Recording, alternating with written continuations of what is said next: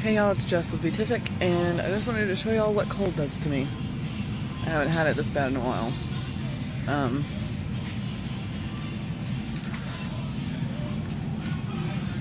in the grocery store right now, so I'm trying to be a little bit quiet, but as you can see,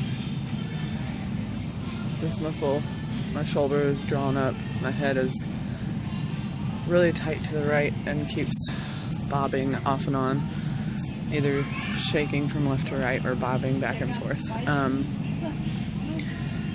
but yeah, I'll keep this short and sweet because this is really not comfortable and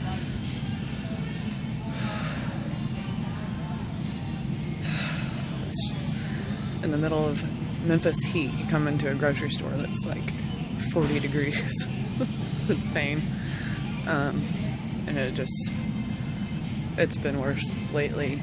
On the vacation, actually, I had maybe like two episodes in the whole three weeks, and in the past couple of days, it's been really bad. So here's to hoping that it gets better soon. Sorry, I haven't been looking at the camera the entire time.